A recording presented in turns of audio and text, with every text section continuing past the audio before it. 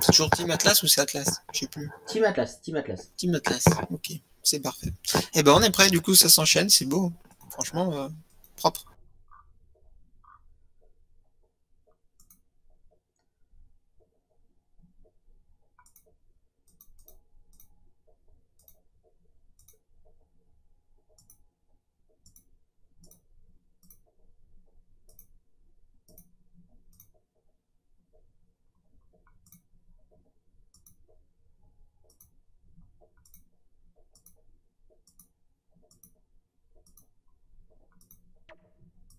Et c'est parti. Alors, Alors, le FK, l'Upermage et le Steamer du côté. Oui, on n'a pas fait le tour sur les équipes, mais du coup, on a FK, Upermage, Steamer du côté de No Moon et Steamer, Xelor, Upermage du côté de Team Atlas. On a toujours un peu ces, ces mêmes classes. hein. C'est un peu, euh, un peu ce qui est dommage avec ce tournoi. Peut-être que ça va changer un peu. euh, Je sais pas s'ils sont toujours avec les mêmes classes pour les phases finales, si, je pense. il me semble que. euh, non, non, non, enfin, c'est du BO3 en draft. C'est du draft sur les phases finales Attends, non, non, non, attends. Mais comment tu drafts sur un serveur pas tournoi? Attends, attends, attends. Ça m'a l'air compliqué. Euh, non, non, non, non, les phases finales, c'est du, c'est juste du BO3 avec des maps différentes. C'est pour ça. C'est pour ça, c'est pour ça. Euh, du coup, un petit point sur les, un petit point sur les équipements. Steamer Feu, euh, Upper Mage Air et Feka sur mode terre retrait. Le Steamer qui joue sur un mode feu. Le Xelor qui joue sur un mode retrait. Euh, oula, non. Oh. Est-ce qu'on n'aurait pas un changement de mode de la part de, de la part de Scare? On va voir. On va voir un petit peu. Et un Upper qui joue sur un mode terre des familles qui promet d'être assez intéressant et il va falloir me changer ce pseudo quand même. Non.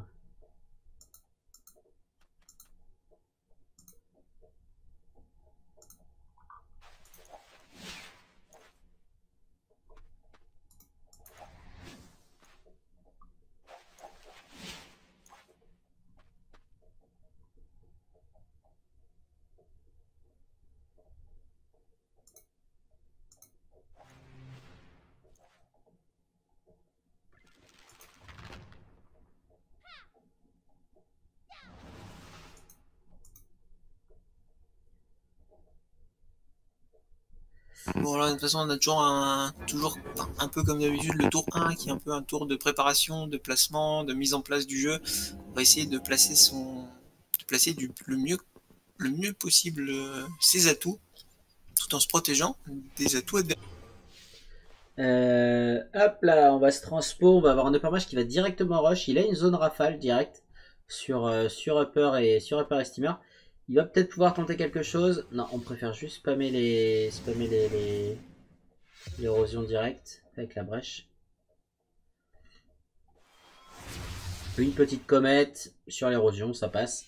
Et la manifestation derrière pour gratter des dégâts et de l'agilité en même temps. Alors, c'est au tour de Baby Squirt euh, de jouer donc Upper Mage Terre. On va voir un petit peu ce que ça donne. Euh, il va pouvoir directement tabasser l'Upper Mage adverse, la brèche, le placement de l'érosion. On voit que c'est un Upper Mage qui joue vite, il connaît son combo. Le gardien élémentaire pour la combinaison ensuite. Et le coup d'arc derrière. Ça tape solidement. Et le gardien élémentaire qui vient en rajouter une couche.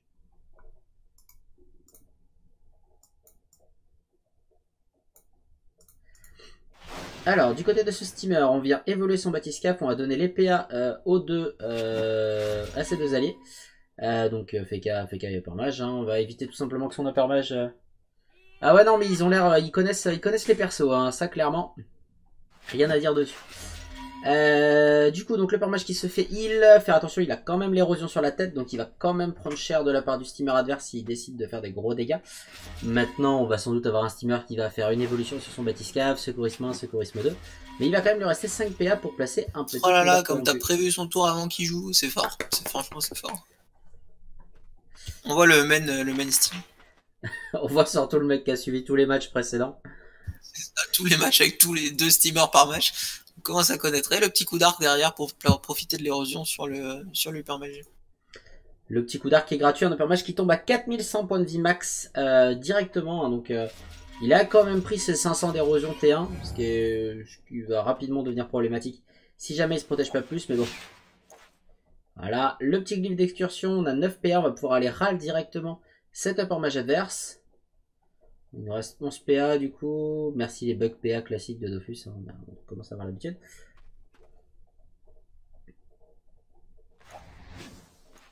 L'aveuglement qui de- tombe à distance. La pose de l'ébène. Et le moins tenue 3, de- oh là là, donc on a eu pas mal de rattrapés qui est passé sur Super Mage. Le retour spontané qui va inverser les deux. Après le pendule, évidemment. Voilà. Euh... Ah, ça, c'est rôle, par contre. On vient ramener... eh, du coup, c'est bien Xelor Full Air, hein, c'est bien ça. Euh... Ça joue ultra vite. Bah ouais, ça joue, ça joue vite, mais euh, c'est le début du combat. faut- Enfin, les tours sont prévus au départ. Ils savent exactement ce qu'ils font au début du tour, puisque. Enfin, au début du tour, au début, au début du combat. T'as vu le tour du Xelor hein? Le Non, il a coûté ultra cher sur les. Du coup, je répondais, du coup, je répondais, j'ai pas fait gaffe. Qu'est-ce qu'il a fait? Euh, bah en fait c'est un Xelor R, du coup ce qu'il a fait c'est qu'il a fait un retour spontané sur, euh, sur le FK qui est retourné sur le build d'excursion du coup.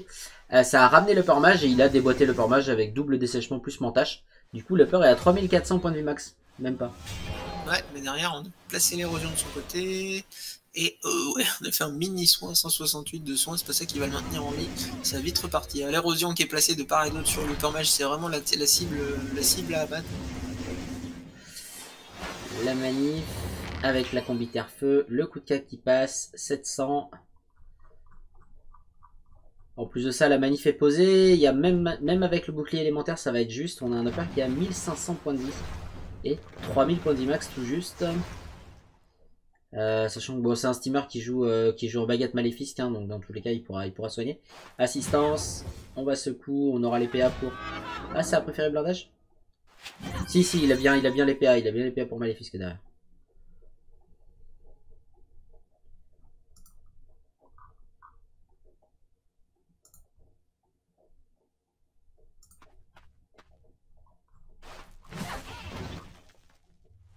Ah, une petite gardienne pour casser les lignes de vue et venir euh, un peu euh, rafistoler son hypermage. Euh, Ouais, que ça suffise. Le sonar pour euh, créer la ligne de vue. Effectivement, du coup, on a un hypermage qui se retrouve totalement euh, exposé. On a un steamer qui peut poser les bennes. Le coup d'arc corrompu qui passe. Allez moins de hop. 900, et le moins de chalutier. 900 là. Et le FK qui va venir être embêté par le chalutier.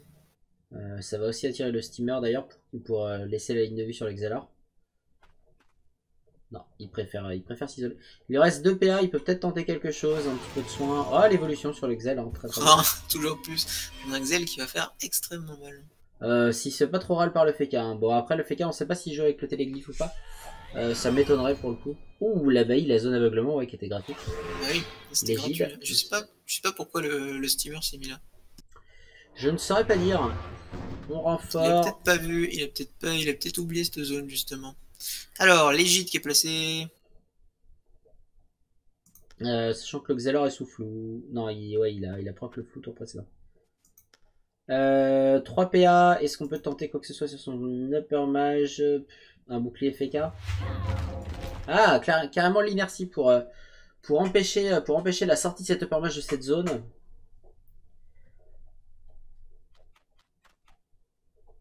Après, le Xelor peut s'avancer et, euh, et décider de libérer aussi, mais bon, c'est peut-être pas. Alors là, il a un, il a un ébène à placer, voilà. Du coup, c'est l'égide qui va le prendre. Ouh, ouais, mais cette zone pendule, elle était beaucoup trop rentable. Hop, Ouais, mais voilà, du coup, euh, voilà, il a passé son tour à. C'était un égide qui était très très bien placé avec derrière cette pesanteur.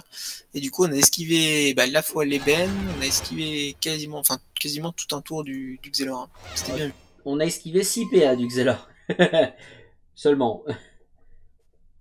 Le truc, c'est que le pendule coûte 4 PA et vu la zone, ouais, le, tour était extrêmement rentable la part du Xelor aussi. La pose de l'ébène. On va repasser l'érosion sur, sur ce Xelor. On va changer de focus. Le permage est trop loin. Voilà, il reste 9 PA. La comète qui tombe. Le tribut pour le PA. 5 PA restants.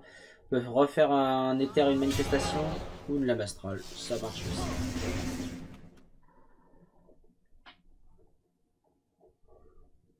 Alors, le permage adverse qui du coup ne peut pas aller sur Polarise. Est-ce qu'on changerait pas de focus pour ce tour-là? Placer l'érosion par exemple sur le FK, puisque le steamer est quand même. C'est vrai qu'il est, il est là, un FK, c'est toujours, euh, toujours assez solide. Ah non, on préfère se téléporter grâce à la manifestation pour continuer vraiment sur ce, super mage. Cycle élémentaire pour faire tourner les états. La manif terre Non, on place la vulnée, la vulnée derrière un gros coup d'arc. Bah, à ce stade, en fait, le permage, euh, placer les vulnés est plus intéressant puisque tu peux très facilement, euh, très, très facilement rentabiliser ton plan. Euh, après, Surtout voilà, qu'il se prend euh, derrière des ébènes, il se prend derrière des ébènes, des, des dégâts sur, de tout le monde. Et il n'y a plus forcément assez de soins de l'autre côté pour le maintenir. c'est ça. Donc l'érosion, effectivement, l'érosion n'est pas forcément la plus efficace. On a un ébène à placer sur ce steamer et un upper mage à sauver. Alors, il nous reste 9 PA sur ce steamer, on va pouvoir secourisme son upper mage, le mage qui prendra aussi les PV du Batiscap en fin de tour. Euh, S'il veut poser son ébène, par contre, ce sera sur upper mage ou sur Exelor Blindage, il lui reste 3 PA du coup. Là, on préfère secourisme son FK et garder son ébène euh, de côté. L'upper mage, 1500 PB, 1446 points de vie. Du côté du steamer, avec ses 10 PA, le bruit de cette manifestation feu. La marée, le secourisme, le second secourisme, pour redonner l'épée à toute son équipe. Hmm, non, il l'avait donné au tour d'avant à son upper, je crois. Euh, bon, il a perdu PA à quel moment du coup? Ah oui, exact, euh, exact, exact, exact, il a perdu des PA du coup. Il le remet quand même, il le remet quand même, ouais, ça fait toujours les points de bouclier. Et le FK qui se retrouve encore sur le, sur le chalutier, c'était bien vu le, la marée comme ça, qui avait deux, et ben, deux effets, à la fois rapprocher ce steamer et isoler un peu le FK. Hop, ça vient euh, se donner de la PO pour faire l'invulnérabilité distance qui va tout simplement empêcher cet upper mage de prendre les ébènes si jamais il ne se fait pas des buffs. On va voir du coup si le Xelor euh, joue avec la suspension temporelle. Bon, il y a de bonnes chances, la poussière temporelle étant, euh, étant quand même sacrément moins utile quand on joue pas sur un mode feu ou en mode spam voilà. Et on vient voler de la fuite, le retour spontané, le retour spontané et la suspension temporelle. Il nous reste 11 PA pour 11 taper. PA, euh, on peut faire. euh, J'ai toujours un doute sur déchèchement, si- dessèchement. Si l'attaque coûte 4 ou 5, euh, 3 ou 4 PA, mais il me semble que c'est 4. Toujours un doute, ça fait un moment que j'ai pas joué Xelor, donc. Ouais, c'est ça, c'est 4 PA, donc il peut pas faire, il peut pas faire le fou combo. La prémonition, le coup de mentage, sans doute le déchèchement. Ah On va se barrer. Un, un Xelor qui s'en va quand même, qui est pas serein, qui reste pas dans la. Mais il a quand même placé sa prémonition, ce qui fait que si personne ne se place dessus avec euh, une, une pesanteur ou alors placer une tourelle dessus, c'est un Xelor qui pourra revenir dans la mêlée au tour prochain. Donc ça reste dangereux. Le drain élémentaire. C'est important lorsqu'il y a un face à face avec deux upper mages de pas forcément jouer l'élément de l'upper mage adverse parce que si on se fait avoir au niveau de l'initiative, du coup bah, on perd forcément des dégâts par rapport au drain. Du moins s'il n'y a pas un focus entre upper mages. Ouais, comme les mobs dans la zone misère. Ouais, c'est ça. C'est ça, c'est ça. Euh, 1700 points de Saloperie vie sur de ce mob. mage. ah non, mais c'est c'est de la... C'est du chien dent ce truc. C'est du chien dent. Ah, c'est horrible. C'est horrible.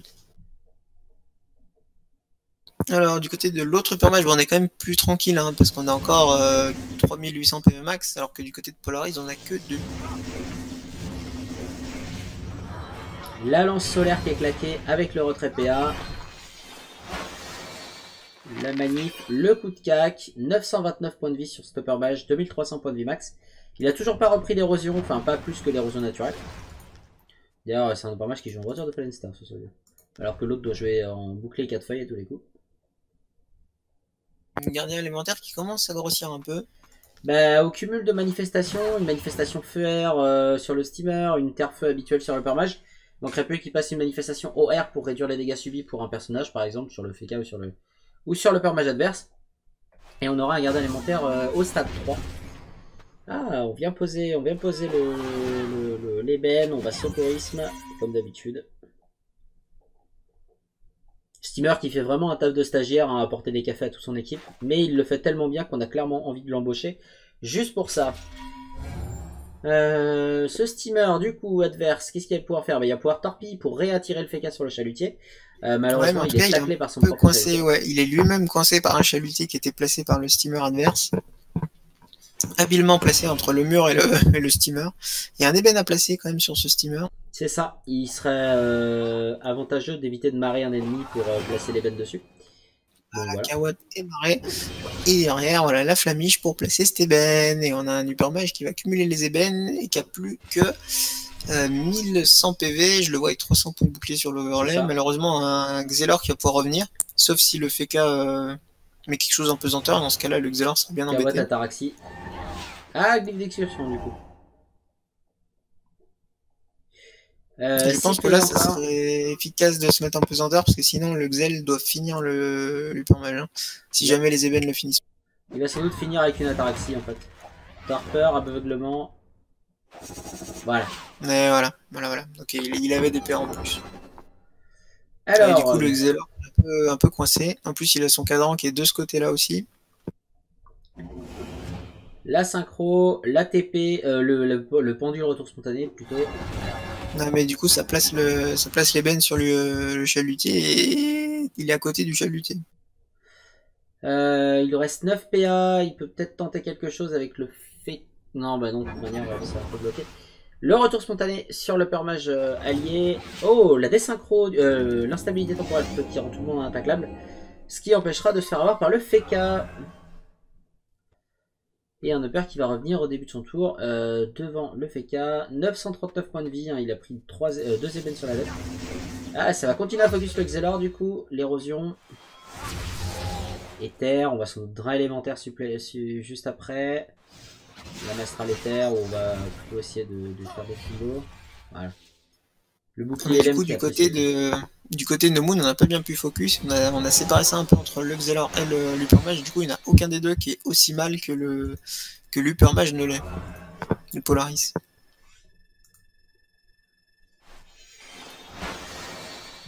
La manif. Surtout que c'est deux classes avec beaucoup de mobilité, Supermage et ce Xelor. Ce qui fait qu'on a un Upermage qui peut pas vraiment aller se cacher. Et on va sans doute assister à la mort de l'Upermage de Polaris. Oh 117 points de vie et le gardien élémentaire est beaucoup trop long pour faire quoi que ce soit. Du coup on a un steamer qui va sans doute pouvoir le sauver puisqu'il est intaclable et du coup il va pas être gêné par le steamer. Euh, Hop, on vient gratter des dégâts. Non, attends, parce que l'instabilité va le ramener. Ok, non. Ça ramène pas trop loin.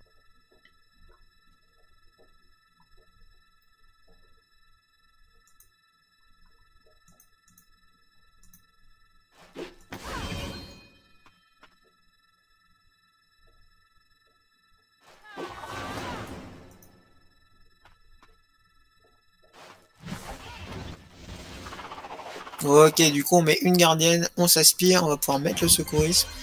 Et la gardienne va pouvoir passer derrière avec le soin. par contre, elle va soigner moins que la normale, voilà, 360. Ça soigne en même temps le permage adverse, hein. on a peur à 3500, Xelor à 3000. Par contre, on a un steamer adverse qui euh, va pouvoir lui refaire un petit coup de soin sur tout le monde, remettre à flot hein, tout simplement son équipe. Et remettre sur, euh, sur les chapeaux de roue, comme on dit.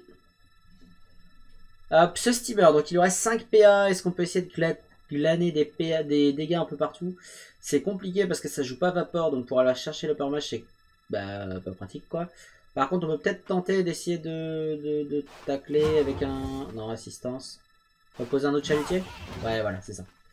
L'autre chalutier qui va pouvoir rebloquer encore une fois ce FK. Qui en plus de ça, la manifestation air qui va empêcher, euh, empêcher une libération pour le, pour le détacler.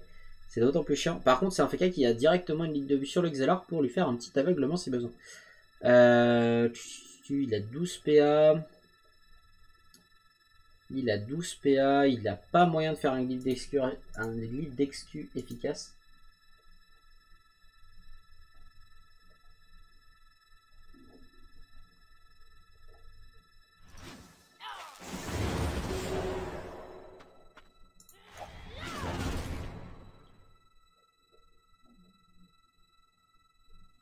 Alors attention à Scar hein, qui prend quand même quelques dégâts, il a plus que 3000 PV max. Bon, il a 2800 PV, hein, donc il n'est pas non plus en danger autant que Polaris. Mais il faut toujours se méfier euh, d'un tour de dégâts qui peut tomber. Ouais, bon là je pense qu'on a Polaris qui va décéder malheureusement. Voilà, c'est la fin, la fin de Super Mage et du coup on est derrière l'Uxel et l'Upermage qui vont pouvoir jouer à la suite. Ce qui va être extrêmement dangereux pour... Euh, pour cette équipe de No Moon. Surtout qu'il s'agit des deux damage dealers de l'équipe. Les dégâts, les dégâts de l'Upermage et ensuite les dégâts du, du Xel. ça va faire très très mal sur. Euh, non, c'est l'inverse. Déjà le Xel et ensuite l'Upermage. La manif terre euh, la combinaison terre-feu qui est posée, la manif, on a posé l'érosion en plus sur. Oh, le coup d'arc à 1100. On a combien de. de res Non, bah, pourtant c'est pas si bas que ça. Le steamer qui tombe à 4001 en Vitamax. Comme les mobs en songe. C'est ça. Ils ont un PV en trop. Bon, par contre, ça va tabasser le Xelor adverse. 3062 points de vie du côté de Scare. Bon, on n'a plus d'érosion qui est posée. Et c'est quoi le fond qui est avec?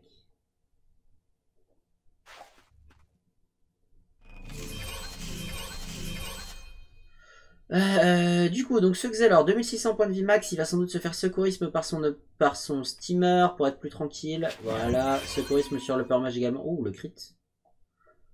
Pour redonner les PA. Euh, on va pouvoir faire flamiche et une soupape potentiellement sur, euh, sur le steamer ou carrément lui faire complètement des dégâts. Hein. voilà, flamiche, selpatre et...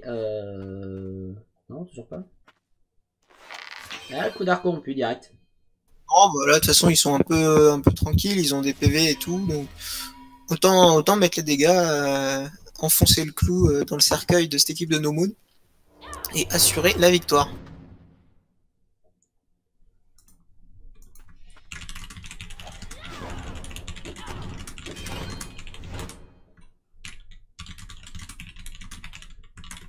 Dans Excel qui a perdu quelques PA, bon il en reste encore 8, hein, donc il est pas trop mal, mais il a plus que 2200 PV max, attention, attention, attention. Que son steamer vient de jouer.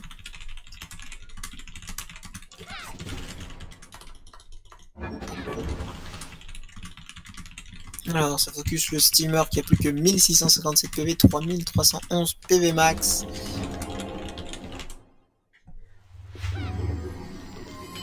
Et on a mis un contre Xelor. Malheureusement, je pense que le, le steamer ne passera pas le tour. Un petit coup d'arc, une vulnée, un petit coup d'arc et on n'en parle plus. Ah, 1060. Ah, ah, ah, il est pas mort, il aura 7 PV. 3 PA sur le permage. Va-t-il réussir à faire 7 PV Oui, avec la flamiche. C'est bon, c'est bon. C'est la flamiche qui tue et il reste plus que le Feka qui se retrouve euh, un peu démuni face à trois adversaires pas forcément dans le monde. Alors je veux pas, je veux pas spoiler la fin du match, mais je pense que cette équipe de Team Atlas a quand même un gros avantage. Oui. Sur de No Moon.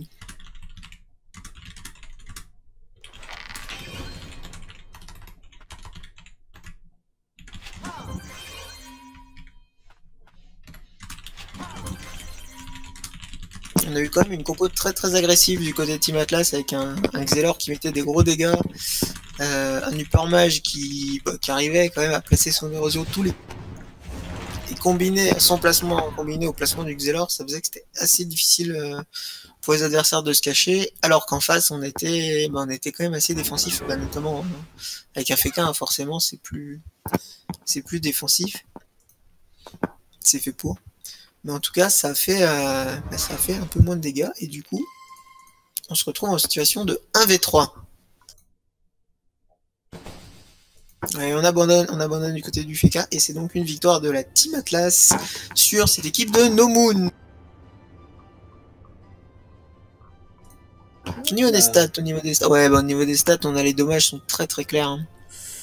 12 000 de la part de Leper, 10 000 de la part de Scare.